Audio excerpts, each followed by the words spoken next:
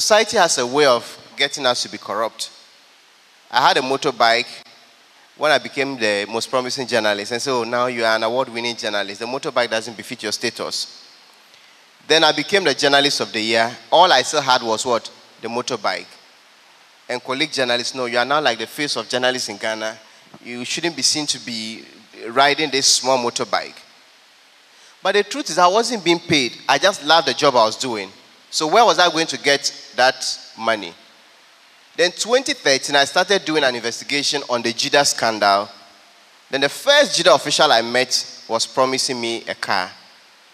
Then, when I even got to the bigger companies and the bigger people, it got worse. But I told myself I was never going to take any penny to kill the story.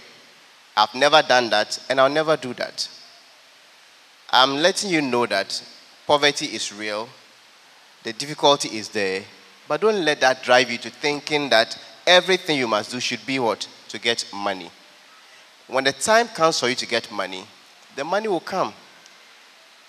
So please, define wealth to include money and material things. That should not be your only definition of wealth.